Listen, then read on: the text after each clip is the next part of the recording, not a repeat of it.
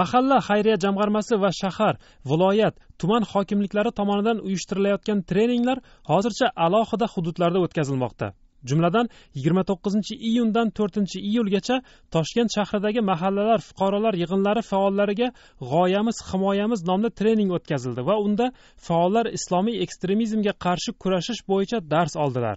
Ishidga qarshi kurash to'g'risida treningdan o'tdik. Shu vaqtgacha o'qiganlarimizning chalasi qolgan ekan bilmay yurgan ekanmiz. Dedi. Hazilomuz ohangda treningda ishtirok etgan toshkentlik mahalla oqsoqoli muxbir bilan mikrofonsiz suhbatda. Bir haftalik mashg'ulotlar davomida oqsoqollarga asosan chet elga qisqa va uzoq muddatlarga borib kelayotgan aholi bilan ishlash bo'yicha ko'rsatmalar berilgan. Mahalla jamg'armasi toshkent viloyatidagi hududiy bo'limlardan birining ismini oshkor qilmayotganimiz mulozimiga ko'ra treningga aholi bilan bevosita ish olib borayotgan oqsoqollardan tashqari mahalla posbonlari va faollari ham jalb qilinmoqda. Ular har bir mahallada kim chetga chiqadi kim keladi kim qanday o'zgarishlar bilan keladi hammasini biladi. Hozir hukumatimiz shu mahalla faollariga islomiy ekstremizmga qarshi kurash bo'yicha qo'llanmalar o'qitilyapti keyin ular joylarda aholi bilan ishlashda bu qo'llanmalarni amaliyotga joriy qilyapti. Hozir bunday targ'ibot ishlari kuchaytirilgan. Dedi jamg'arma xodimi mikrofonsiz suhbatda. Jumladan o'tgan haftadagi treningda qatnashgan toshkentlik faollarga poytaxtdagi chinobod sanatoriysida sertifikatlar topshirildi.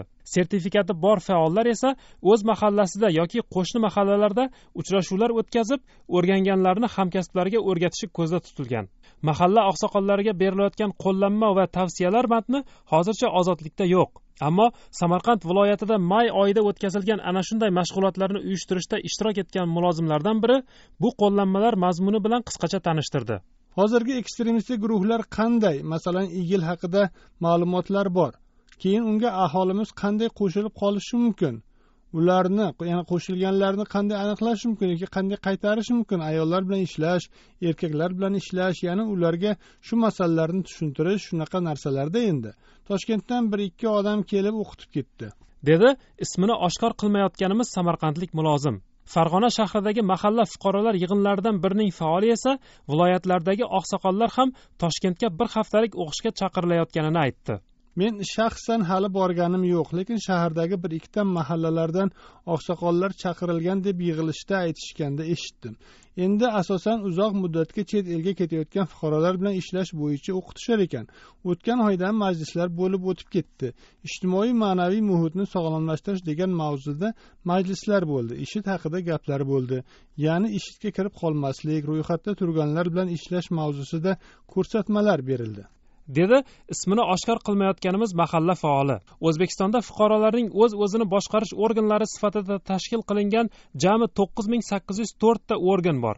Bulardan sakkiz ming bir yuz oltmish uchtasi mahalla fuqarolar yig'inidir. Hozir mahalla fuqarolar yig'inlari oqsoqollari va posbonlari mahalliy hokimiyat organlarining targ'ibot tashviqot kampaniyalari nazorat o'rnatish va olib borish kommunal to'lovlarni yig'ish ommaviy hashar yoki tadbirlarga aholini jalb qilish ta'lim muassasalaridagi bolalar o'smirlar va talabalarni nazorat qilish keyingi yillar ichida esa xorijga chiqayotgan fuqarolarni ro'yxatga olish nazorat qilish va ular bilan targ'ibot ishlarini o'tkazishdagi eng zaruriy yordamchi bo'g'inga aylangan.